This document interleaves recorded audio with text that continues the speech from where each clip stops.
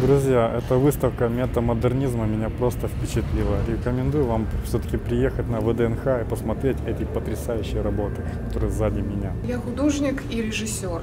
Я и снимаю кино, и занимаюсь живописью.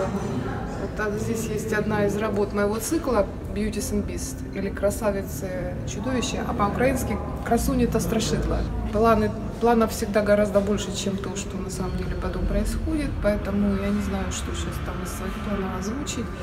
Ну да, есть один классный проект, который мы сегодня утром обсуждали. Сейчас он условно называется «Потерянный рай». В живописи последнее время я работаю в стиле экспрессионизма, неоэкспрессионизм. То есть это значит, что тут э, работа создается довольно быстро, с большой энергией и спонтанностью. И я предпочитаю всегда писать людей с натуры.